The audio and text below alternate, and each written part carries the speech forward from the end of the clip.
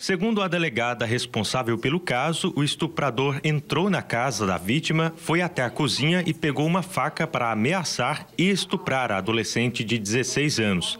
Além da jovem, na casa estava o filho dela, que tem menos de dois anos de idade. A vítima estava na casa dela no período da tarde, ainda era dia, né?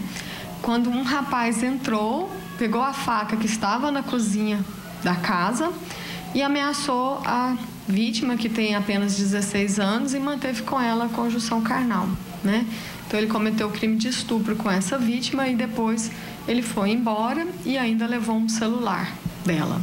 A jovem pediu a ajuda de pessoas que estavam na rua, que chamaram a polícia. A PM fez patrulhamentos nas proximidades, mas ainda ninguém foi preso.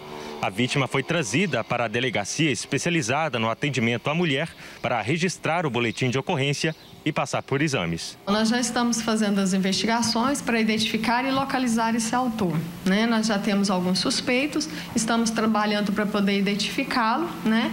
E logo ele seja identificado, ele já vai ser chamado a responder pelo crime que ele cometeu.